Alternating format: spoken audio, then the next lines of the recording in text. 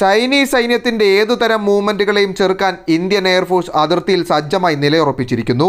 ഐനി എയർബേസിൽ നടന്ന അഭ്യാസത്തിൽ Sukhoi thirty M K MiG twenty nine Apache helicopter തുടങ്ങിയ അധികായന്മാർ രംഗപ്രവേശം ചെയ്തിരുന്നു. അതിർത്തിയിൽ ശത്രുവിന്റെ ഏതുതരം പ്രകോപനങ്ങൾക്കും മറുപടി നൽകാൻ ഇന്ത്യ തയ്യാറാണെന്ന സൂചനയാണ് ഇത് നൽകുന്നത്. ലഡാക്കിലെ തയ്യാറെടുപ്പുകളോടൊപ്പം തന്നെ ആൻഡമാൻ നിക്കോബാർ ദ്വീപിലും സൈന്യം വൻതോതിലുള്ള നിർമ്മാണ പ്രവർത്തനങ്ങൾ നടത്തിവരുന്നു. ലോകത്തിലെ ഏറ്റവും ഉയരം കൂടിയ ഡിഫൻസ് എയർബേസായ ദൗലത് ബേഗ് ഓൾഡി എയർബേസിനെ ചൈന ഭയക്കുന്നത് എന്തുകൊണ്ടാണെന്ന് നോക്കാം.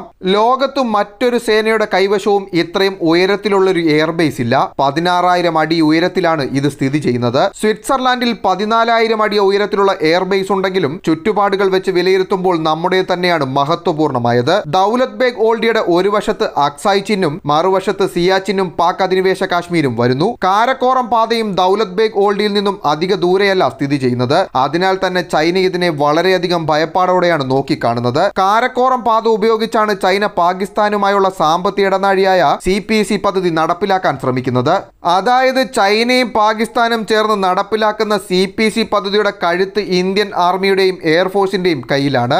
എപ്പോൾ വേണമെങ്കിലും ഇന്ത്യയ്ക്ക് ഇത് ബ്ലോക്ക് ചെയ്യാൻ സാധിക്കും. ഈ കാരണം കൊണ്ട് തന്നെയാണ് ചൈന പാകിസ്ഥാനെ കൂട്ടുപിടിച്ച് ലഡാക്ക് മേഖലയിൽ ഇന്ത്യക്കെതിരെ നീക്കം നടത്തുന്നത്. ചൈനീസ് ചരക്ക് നീക്കത്തിന്റെ നട്ടലായ മലാക്ക കടലിടുക്കും ഇന്ത്യയ്ക്ക് നിശ്ചലമാക്കാൻ സാധിക്കും. ഇന്ത്യൻ മഹാസമുദ്രത്തെ ആശ്രയിക്കാതെ ചരക്ക് നീക്കത്തിനുള്ള ബദൽ പാത നിർമ്മിക്കുക എന്നത് ചൈനയുടെ ഭാവി നിർണയിക്കുന്ന ഘടകം തന്നെയാണ്. ഇതിന്റെ മുന്നോടിയായിട്ടുള്ള നീക്കമാണ് ബലൂചിസ്ഥാനിലെ ഗ്വാദർ തുറമുഖം കൈവശപ്പെടുത്തുക വഴി ചൈന ചെയ്തിരിക്കുന്നത്. ദൗലത് ബേഗ് ഓൾഡി മേഖലയിൽ നിന്നുകൊണ്ട് നമുക്ക് ചൈനയും മറ്റ് അയൽ രാജ്യങ്ങളെയും നിരീക്ഷിക്കാൻ സാധിക്കുമെന്നതും ചൈനയെ ഭയപ്പെടുത്തുന്നു. ആയിരത്തി തൊള്ളായിരത്തി അറുപത്തിരണ്ടിലായിരുന്നു ഇന്ത്യ ആദ്യമായി ഇവിടെ സൈനിക പോസ്റ്റ് നിർമ്മിച്ചത്. അന്നു മുതൽ ഇന്ത്യൻ എയർഫോഴ്സിന്റെ ഫൈറ്റർ ജെറ്റുകൾ ഹെലികോപ്റ്ററുകൾ ചരക്ക് വിമാനങ്ങൾ തുടങ്ങി എല്ലാം തന്നെ ഈ മേഖലയിലുണ്ട്. രണ്ടായിരത്തി പതിമൂന്ന് ഓഗസ്റ്റ് ഇരുപതിന് ഇന്ത്യയുടെ ഏറ്റവും വലിയ ചരക്ക് വിമാനമായ super Hercules C one thirty J Daulat Beg Oldi എയർബേസിൽ ഇറക്കി റെക്കോർഡ് സൃഷ്ടിച്ചിരുന്നു. ചൈന ഈ മേഖല കൈയടക്കാനായി നിരന്തരം ശ്രമിച്ചുകൊണ്ടേയിരിക്കുന്നു. അതിനായി ലിപ്സം വാലിയിൽ ക്യാമ്പ് ഉണ്ടാക്കാനുള്ള ശ്രമത്തിലായിരുന്നു അവർ. ദൗലത് ബേ ഗോൾഡിൽ നിന്നും മുപ്പത് മുതൽ നാൽപ്പത് കിലോമീറ്റർ വരെ ദൂരെയാണ് ലിപ്സം വാലി. രണ്ടായിരത്തി മൂന്ന് ഏപ്രിലിൽ ചൈനീസ് സേന ഇവിടെ ക്യാമ്പ് നിർമ്മിക്കുന്നതിൽ വിജയിച്ചിരുന്നു. രണ്ടായിരത്തി പതിനാലിൽ ചൈന തന്നെ അറിയിച്ചത് പ്രകാരം ലിപ്സം വാലിയിൽ ക്യാമ്പ് നിർമ്മിച്ച് നിരീക്ഷണം നടത്തി വരികയായിരുന്നുവെന്നും എന്നാൽ ഇന്ത്യയുടെ ശക്തമായ എതിർപ്പും നയതന്ത്ര സമ്മർദ്ദവും കാരണം ക്യാമ്പ് പൊളിച്ച് ചൈനീസ് സേന പിന്മാറിയെന്നുമാണ്. ഈ സംഭവത്തിന് ശേഷം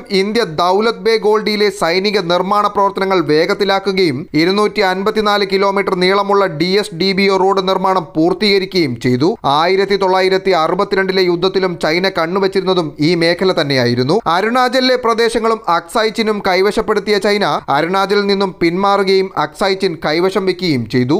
ഇതിന്റെ തുടർച്ചയെന്നോണം രണ്ടായിരത്തി ഇരുപതിൽ ഗാൽവാൻ പാങ്കോങ് ദൗലത് ബേ ഗോൾഡി എന്നീ പ്രദേശങ്ങൾ കൈവശപ്പെടുത്തുകയും പ്രതിരോധം കടുക്കുമ്പോൾ ഗാൽവാൻ പാങ്കോങ് ഏരിയകളിൽ നിന്നും സേനാ പിന്മാറ്റം നടത്തി ദൗലത് ബേ ഗോൾഡി കൈവശം വെക്കുകയും ചെയ്യുക എന്നതായിരുന്നു ചൈനയുടെ പദ്ധതി. ഈ മേഖലയിൽ ആധിപത്യം നേടുന്നതോടെ സിയാച്ചിൻ മേഖലയും കയ്യിൽ വന്നു ചേരും. അതോടെ കാരക്കോറം പാതയിൽ ചൈനയ്ക്ക് ആധിപത്യം നേടാനാകും. നാലടി കയ്യേറി രണ്ടടി തിരിച്ചു നൽകുന്ന തന്ത്രമായിരുന്നു ഇതുവരെ ചൈന ചെയ്തിരുന്നത്. ഇപ്പോൾ നാം അതിനെ ശക്തമായി പ്രതിരോധിക്കാൻ തുടങ്ങിയിരിക്കുന്നു. ഇത് സ്ഥിരീകരിക്കുന്ന തരം പ്രവർത്തനങ്ങളാണ് ചൈന പാങ്കോങ് ഏരിയയിൽ നടത്തുന്നത്. ഫിംഗർ വൺ ടു ഫോർ ഇന്ത്യയുടെ അധീനതയിലും ഫിംഗർ ഫൈവ് ടു എയ്റ്റ് വരെ രണ്ട് സൈന്യങ്ങളും പെട്രോളിംഗും നടത്തി വരുന്നു. ഇപ്പോൾ ചൈന ഫിംഗർ ഫോറിന് സമീപം തമ്പടിക്കുകയും അനുരഞ്ജനം പോലെയുള്ള നിർദ്ദേശത്തിൽ ഫിംഗർ സിക്സ് വരെ ചൈനീസ് സേന പിന്മാറാമെന്നും ഇന്ത്യൻ സൈന്യം ഫിംഗർ ടു വരെ പിന്മാറണമെന്നും പറഞ്ഞിരുന്നു. ഇതിൽ ലാഭമുണ്ടാകുന്നത് ചൈനയ്ക്ക് തന്നെയായിരിക്കും. ഇതുവരെ ഇന്ത്യ ചൈനയുടെ ഇങ്ങനെയുള്ള നിർദ്ദേശങ്ങൾ പാലിക്കുകയായിരുന്നു ചെയ്തിരുന്നത്. ഇത്തവണ പെട്രോളിംഗ് ശക്തിപ്പെടുത്തിയും കൂടുതൽ സൈനികരെയും സ്പീഡ് ബോട്ടുകളെയും രംഗത്തിറക്കിയുമാണ് ഇന്ത്യ ഇതിനെ നേരിട്ടത്.